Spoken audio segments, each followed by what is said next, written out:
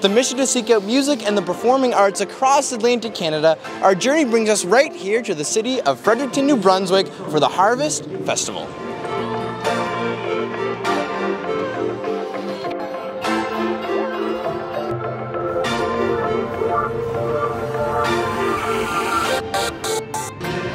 Formerly known as the Harvest Jazz and Blues Festival, this was a hotspot for jazz and blues lovers in the 90s and early 2000s. Now, in an attempt to bring Maritimers closer together, the Harvest Festival has now reached out to all different types of genres, bringing everyone closer together so everyone has a genre of music that they love.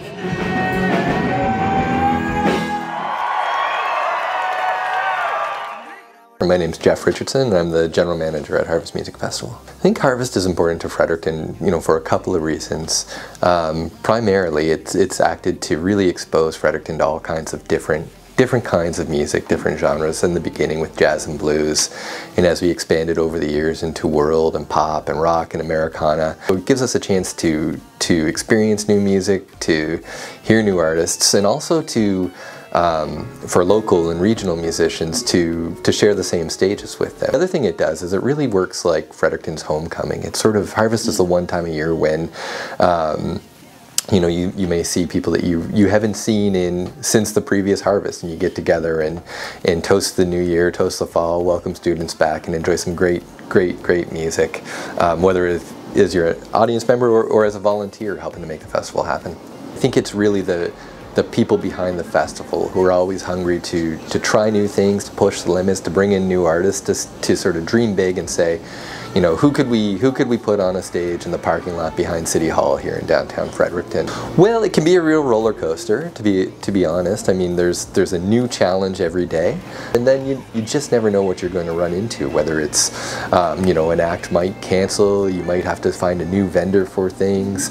We're always looking for sponsorship and government grants as a nonprofit charity, so every day is a new adventure. But the the exciting part of it is there's a team of uh, problem solvers who love to put on on events who want to sort of do their best for the for the community here and offer a great great event every September. We're lucky to have support from all kinds of different organizations. I think we had 60 sponsors last year, most of whom are uh, local businesses who want to see Harvest happen every year, and many of whom have been here for, throughout Harvest's 31 year history. So they're really happy to, to support what we do and, and uh, make the festival a reality every year. And we also get a lot of support from our government partners at the municipal level, at the provincial level, and at the, at the federal level, all of whom uh, want to see music, live music and live arts uh, flourishing in, in our community for all kinds of good reasons. It takes somewhere in the neighborhood of 700 to 800 volunteers to put on Harvest every year. Um, and they're doing everything from, you know, welcoming people at admissions to working security to opening drinks at the bar and the like. And um, so I would say that, uh, you know, in addition to the sponsors, they're the folks who make the festival happen. So be, be nice and th say thank you to a volunteer. With the goal of shedding light on creative minds here in the Maritimes, most of the performers here at Harvest are Atlantic Canadian based, and over a third come from right here in New Brunswick. Alright, so tell me your names. What are your names?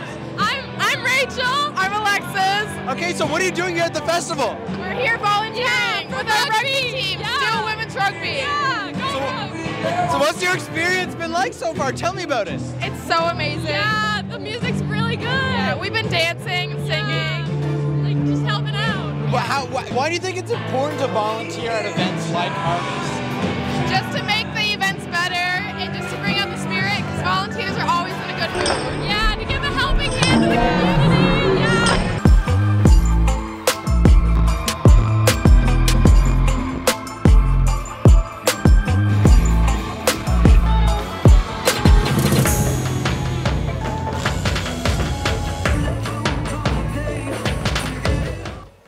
Kate Rogers, the Mayor of Fredericton.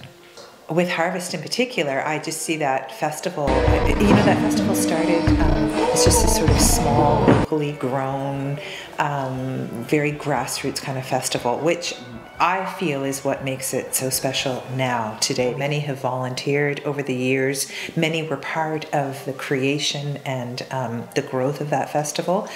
Frederictonians really feel like Harvest is theirs, right? And I feel that that has helped with helped Harvest grow. They've had a captive audience that has grown with them. And, uh, and I just imagine that continuing. I know that every year they have a very engaged board of directors and engaged staff that are really mindful that they're delivering a festival that's reflective of what it is that that their audience wants.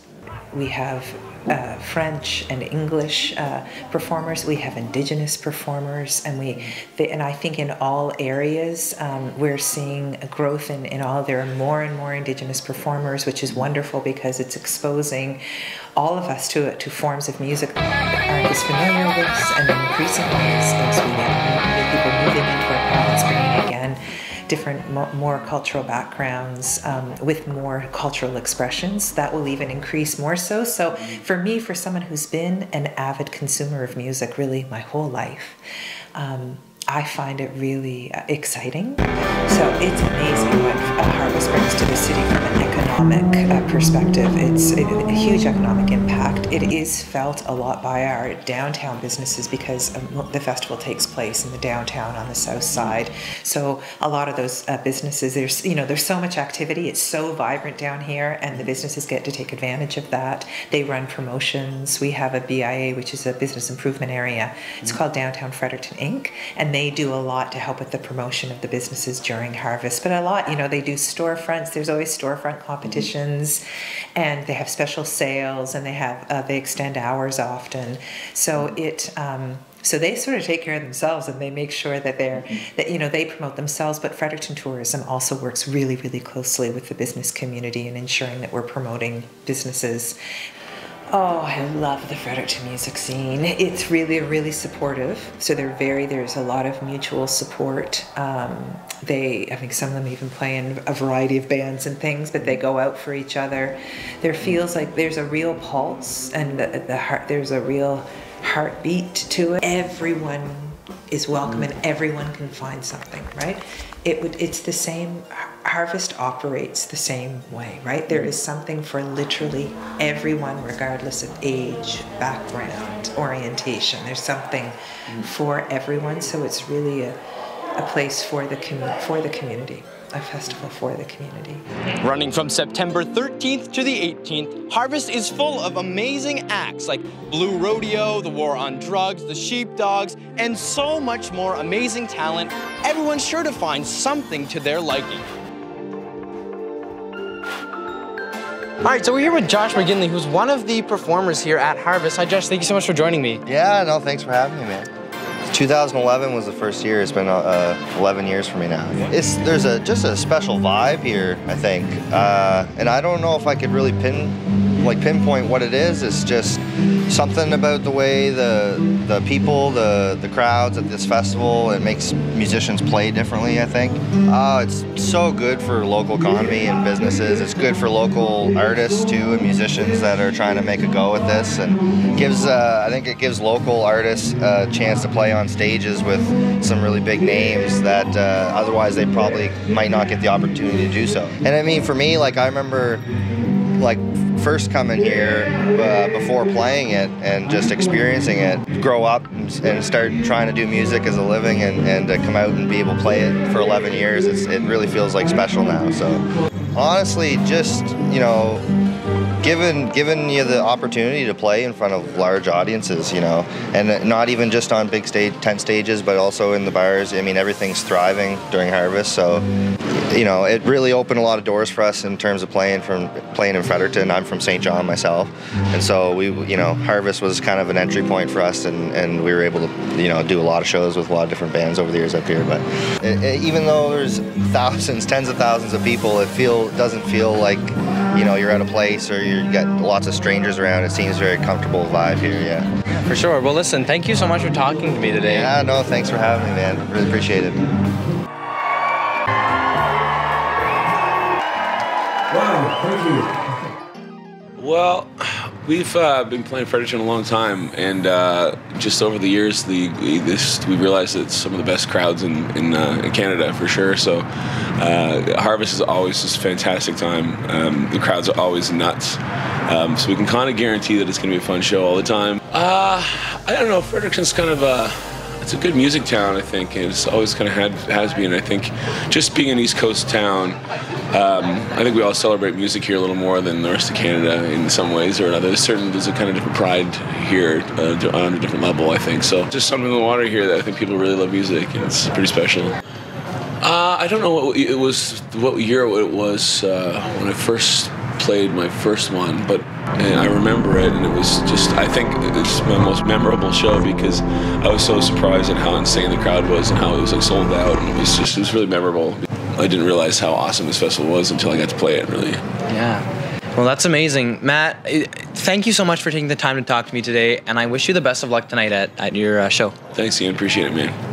It, Fredericton's usually pretty quiet throughout the summer. We even have other festivals that happen that, that usually get well attended, but there's something about this festival. It just draws in people from America and all across the country, and it, it, it, becomes ridiculous. Like you could never put a show on on Carleton Street any other day or night of the year where there's like three or four hundred people watching you. That's right. I mean, let's face it. They they close off Queen Street the whole length of it. It's what like three or four blocks, five blocks, yeah. and there's people like shoulder to shoulder, shoulder, shoulder the back. whole way, right? Where else are you gonna find that? It's just exposed uh, local musicians and local music fans. So much music that we might not have heard otherwise. It seems to be like everybody's a big family. Like people playing our band, they're playing Kylie's band, and people playing Kylie's band, they're playing the Hypochondriacs. It's just, just actually, we're gonna have a Hypochondriac playing with us all night tonight. That's just the way it works, right? Yeah. You definitely get the opportunity to play in front of like hundreds, if not thousands, really, who are down here that would never ever usually see a certain band. They just this is the time they come out and then they talk to their friends like, oh wow, we were at the Harvest Festival and we got to see this band. Like they were great, and then next thing you know, they're music fans and they're telling their friends, and we got new fans. That, We're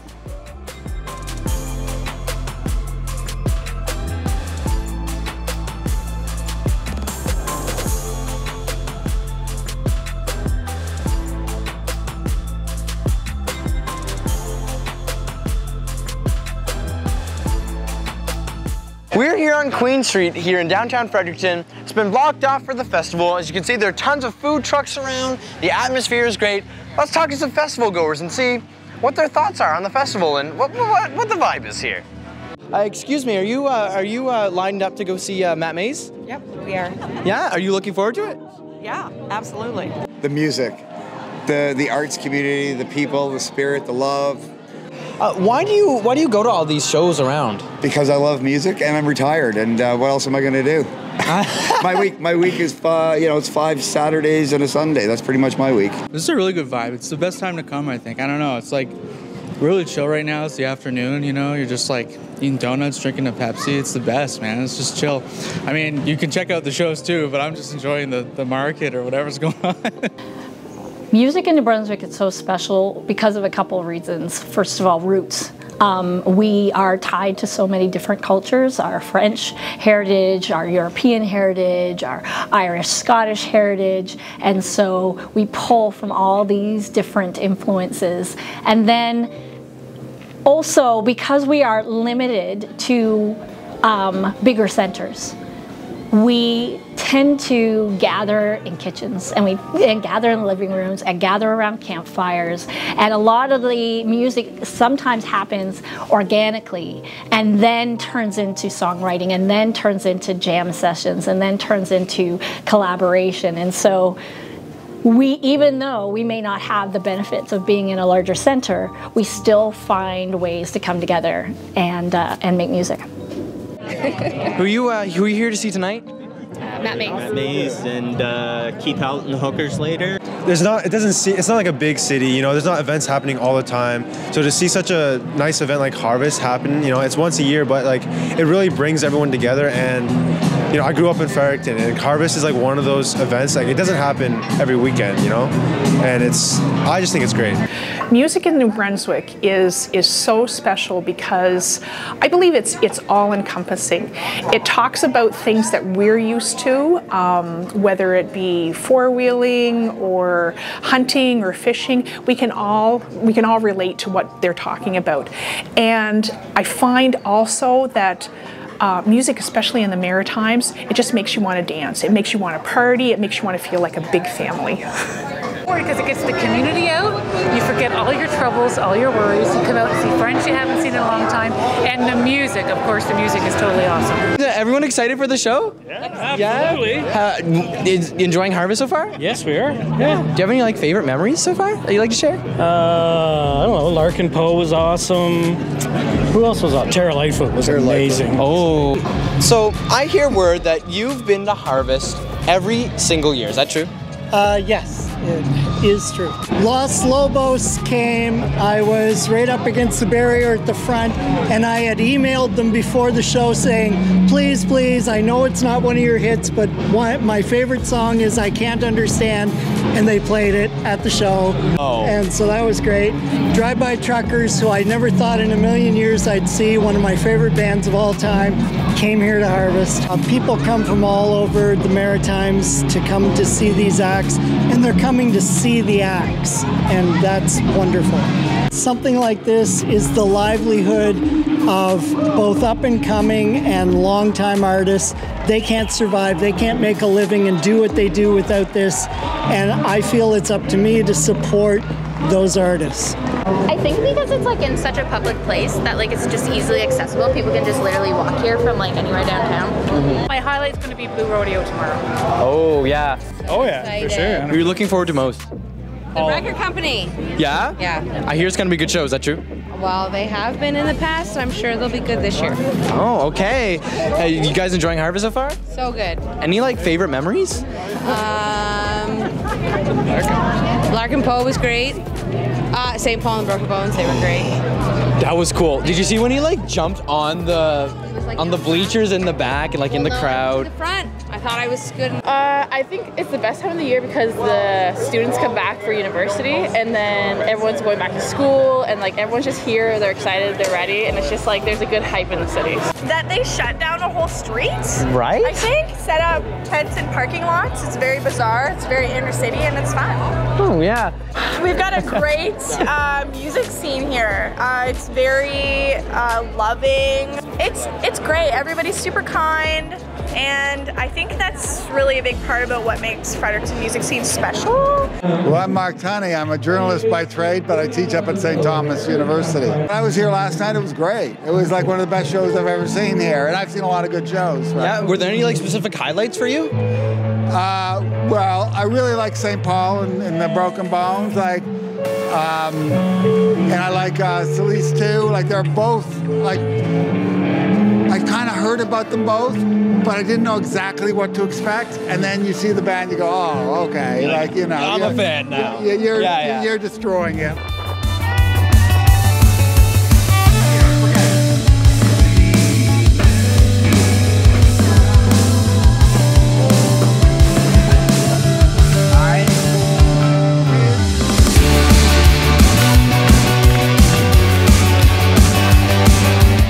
Here at Harvest, music is inescapable in that there are so many performers not only on the stages but also everywhere downtown. I mean, they're truly what bring the magic to the festival and make downtown Fredericton come alive. Uh, my name is Pancho Libre. I'm from Mexico. So I came, I've been invited to do the festival. So uh, yeah, that's why. Uh, well, yes, pretty much 35 countries so far. Ah, well, it's beautiful. I mean, uh, people are lovely.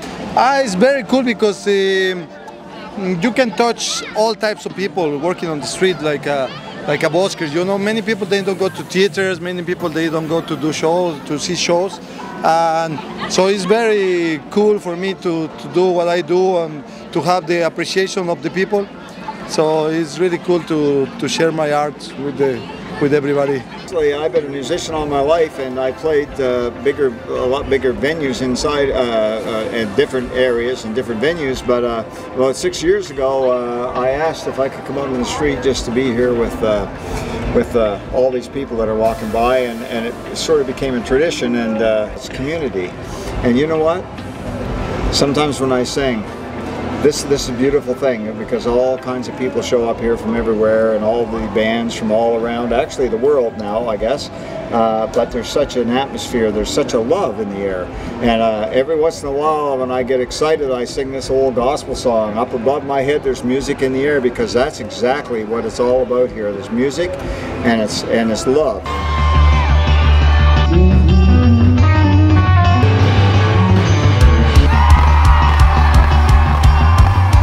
Harvest is very lucky to have sponsors that help them out with putting on the show, putting on events and stages and such. So why don't we go talk to TD, who is one of the main sponsors of Harvest, and see why they chose to sponsor and support the arts here in Atlantic Canada.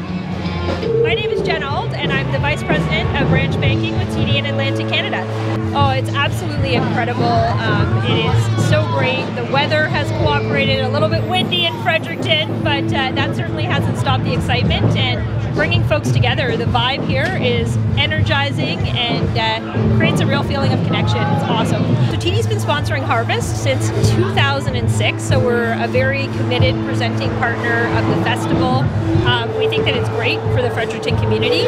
Um, you know, just it, music really has a great way of bringing folks together. It connects them. It creates a feeling of confidence in communities. It really just gives everybody a common ground. So very important. I think for us, TD invests in music from coast to coast, and you know, I, I do our um, corporate uh, responsibility statement, the Ready commitment, really believes in connecting communities. And so for us, we think there is no better way to bring people together than through music. We also understand that there's many established artists and there's many artists that are, you know, looking to be noticed. They're working very hard to unite folks, to share their art with people, and we're really proud to invest in them. And so I, I think, you know, Har- uh, Harvest does a great job of that as well. There's many international, well-known, established artists that are performing here, and there's many up-and-coming East Coast talent. So I think for me specifically, although music is something we sponsor from coast to coast, um, especially important on the East Coast because we have such incredible musical talent here.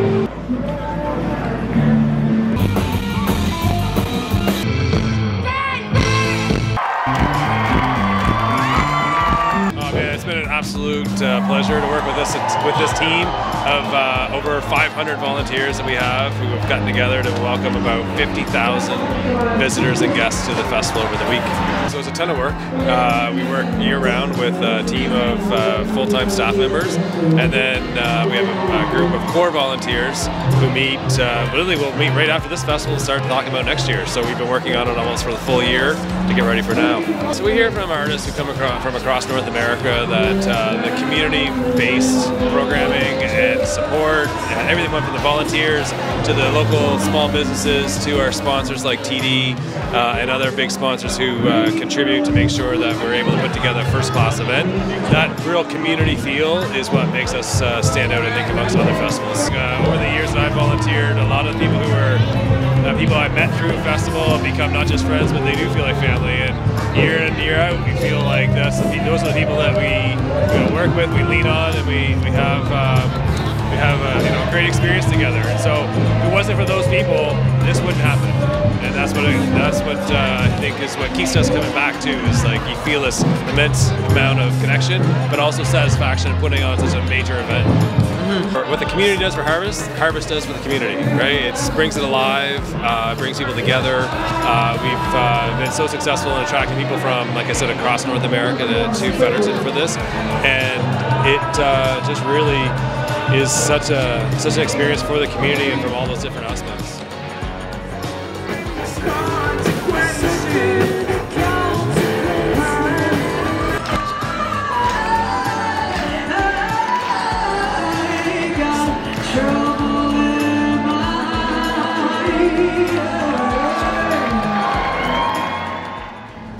The, the, festival just gets better, better and better every year. I mean, I think I was at the first or second year of the festival and have been uh, to the festival many, many times since.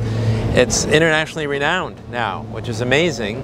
And you know what? Musicians love it because they're treated so well. My brother was a performer here some years ago.